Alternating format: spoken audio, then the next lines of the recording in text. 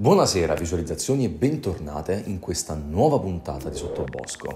Oggi voglio trattare insieme a voi un qualcosa che molto probabilmente non è così tanto conosciuto in Italia, tuttavia il suo livello di pesantezza è così esagerato da essere lontano addirittura da qualsiasi più malata fantasia. Sto parlando del filmato Snuff R37, un mixtape shock emerso su internet nel 2015 e reso popolare nel 2021 grazie a un post su Reddit contenente una mappa iceberg che menzionava questo film. Questa mappa ha ricevuto quasi 4.000 upvotes e questo non ha fatto altro che incuriosire la gente e oggi siamo qui a parlarne. Vi avverto però, non è un qualcosa di facile innanzitutto di cui parlare perché si sta parlando non soltanto di CP, di contenuti espliciti di minori, ma di contenuti espliciti minori morti, quindi stiamo parlando di un qualcosa davvero agghiacciante, quindi vedete un po' voi se continuare o meno la visione di questo video. Prima di iniziare vi ricordo semplicemente che la felpa che indosso, quella di One Piece,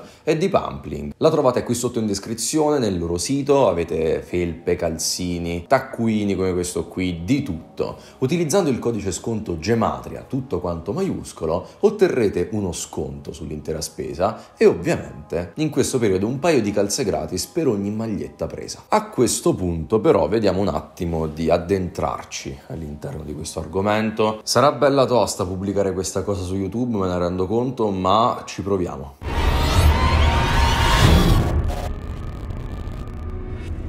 Questo video è rimasto perduto fino alla sua scoperta nel 2021. Delle voci su questo film circolano più o meno dal 2015, ma il video effettivo è diverso da ciò che alcune voci fanno credere. R37 o Snuff R37 infatti non è il vero nome di questo file. All'inizio del video compare uno schermo nero con il testo Snuff R37 in alto e Necrope in basso, indicando che il nome del mixtape è Necrope e il nome dell'entità dietro di essa è SNAF R37. C'è veramente pochissima informazione riguardo sia questo video in sé che i suoi creatori. La principale pista sull'origine del video, secondo alcune oscure recensioni online e diversi post su thread di discussione riguardo a questo video, spiega che è stato realizzato da un gruppo di circa 4-5 persone noti su 8chan. Per chi non sapesse che cos'è 8chan, faccio presto a spiegarmi. Avete presente 4chan e avete presente quanti problemi già causi un image board base,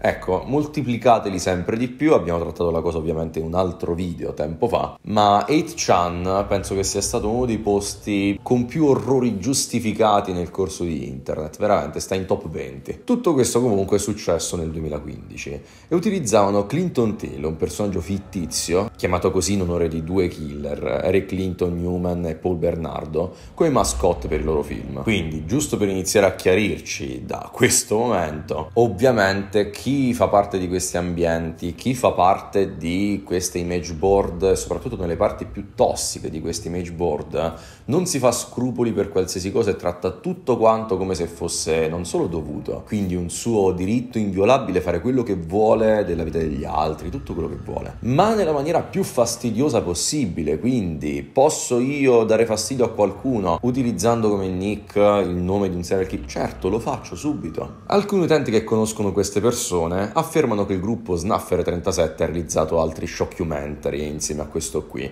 e li ha condivisi tramite delle darknet. Molti membri del subreddit Mondogore dicono si dice che questi qui si siano sciolti tempo fa e che nessuno di questi membri desideri essere ricontattato in merito alla pubblicazione e alla creazione di questi video. Cioè, facile, capito? Fai lo schifo. Poi quando si tratta un attimo di capire chi è stato così, no, no, a me non interessa essere contattato, figuriamoci, come se fosse, non so, un call center che ti chiama quando hai eh, letteralmente prodotto questa roba. Parlando del film in sé, è una compilation di 10 minuti e 55 secondi di estremi atti di violenza medica della guerra civile siriana, che coinvolgono bambini e neonati, con immagini di una telecamera di sicurezza che mostra un uomo che calpesta un bambino e immagini simili. È ovviamente terribile possibile. La visione di questa roba penso che sia un reato federale, ma non è soltanto questo. Il fatto è che prima del ritrovamento effettivo di questo filmato si pensava che R73 fosse un filmato nel quale un bambino veniva seviziato. Addirittura tutto questo era stato ricondotto a Luca Magnotta, quello di, del documentario di Netflix, uh, Giulia Maria De gatti, no? Che sarebbe il creatore di One Lunatic, One Ice Pick. È un video del quale abbiamo già parlato, facciamo che non lo ritrattiamo oggi. Si dice anche che esista un sito francese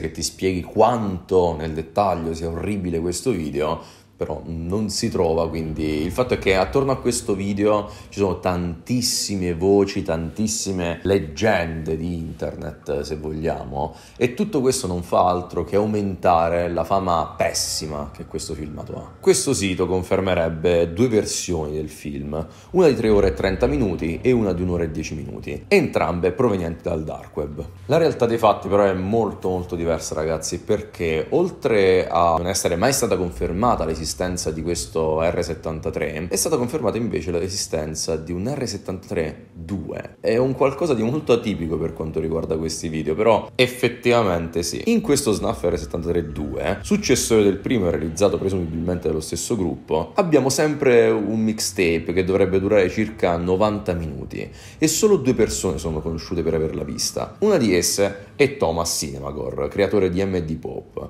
L'altra è Cinema Sandarbelli, uno youtuber youtuber che l'ho praticamente sputato. Secondo entrambi, tuttavia, a parte che non bisognerebbe mai andare in cerca di questi video, ma secondo entrambi quello che è contenuto all'interno di questi mixtape è tutta quanta una serie di video montati, un po' come se fossero sempre una compilation di gente che si toglie la vita, gente che la toglie ad altri, insomma, il classico. Parlando un attimo del fatto che questo video possa esistere come no, in realtà non è che ci cambi poi così tanto, semplicemente perché un sacco di gente su internet ha cominciato ad addossare a questo video in particolare la colpa del fatto che esista gente che effettivamente ha prodotto della necro fotografia. Vi basti semplicemente pensare a Peter Scully, a tutto quello che ha fatto, il creatore di Daisy Destruction si intende. Vi basti pensare a tutte queste cose qui e capirete già da subito che non è un qualcosa nato né oggi né ieri, è un qualcosa che purtroppo esiste da tantissimo tempo. È un qualcosa di terribile, ovviamente, ma è anche un qualcosa che, raga,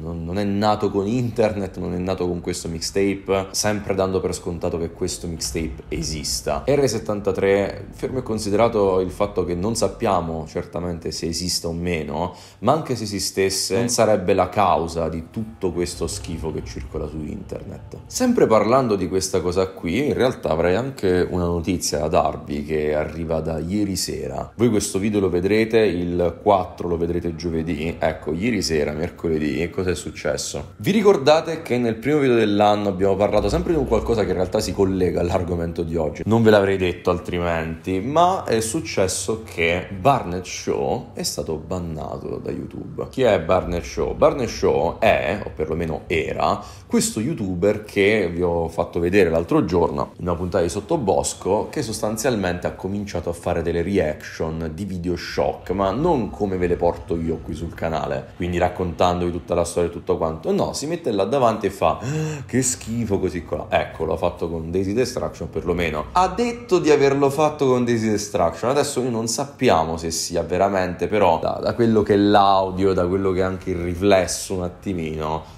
Pare di sì, altrimenti non sarebbe mai stato bannato, perché di troll su YouTube ne esistono da tantissimo tempo, di gente che fa finta di esistere da tantissimo tempo e non è mai stata bannata.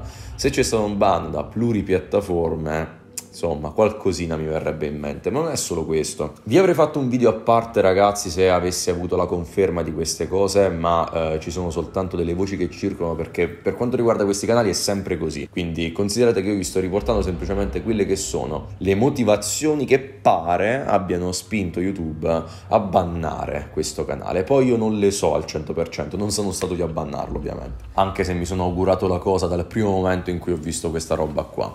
Ma se non ho capito male, e spero sinceramente di aver capito male, questo tizio è stato pescato non solo a diffondere contenuti espliciti di minori su Discord, così, non ho capito se sotto pagamento oppure no, questa cosa non la so e preferisco in realtà non saperla. Ma c'è anche una voce che sta girando per vari forum e spero vivamente che sia infondata, che questo tizio abbia messo incinta una quindicenne. Oh, non, veramente. Ragazzi, eh, c'è veramente qualcosa che non va, però sempre fermo restando che mi mi auguro che non sia successo veramente, la cosa non mi sorprenderebbe perché un tizio che si mette lì a fare questa roba in questa maniera così sfacciata, così arrogante e soprattutto così disturbata, cioè nello stesso account c'è lui che mette dei extraction e si mette la maschera in faccia, fa le cose e poi lui con immagino la ragazza, non lo so, comunque, ah che bella la famiglia, cioè, capito? Però questo qui è anche il classico streamer di cui non gliene fotte un cazzo di niente di nessuno, quindi ragazzi, c'era anche questo aggiornamento da fare e pensavo che fosse il video più opportuno cioè qualcosa all'orecchio che mi dà fastidio oggi, non so perché mi fa malissimo. Comunque sia, ragazzi, questo è quanto. Fatemi sapere se conoscevate già questa storia di R73, fatemi ovviamente sapere cosa ne pensate qui sotto nei commenti e per il resto penso che per oggi possiamo anche chiuderla qui. Io vi ringrazio di essere stati qui con me anche oggi, qui sotto in descrizione ragazzi trovate tutto ciò che può servirvi, tra cui il link di Pumpling per risparmiare sulle maglie, Instagram, TikTok e tutto il resto delle cose che possono servirvi. Sì, siamo tornati su TikTok, su Instagram e su tutto il resto. Detto questo, grazie a tutti e noi ci vediamo alla prossima.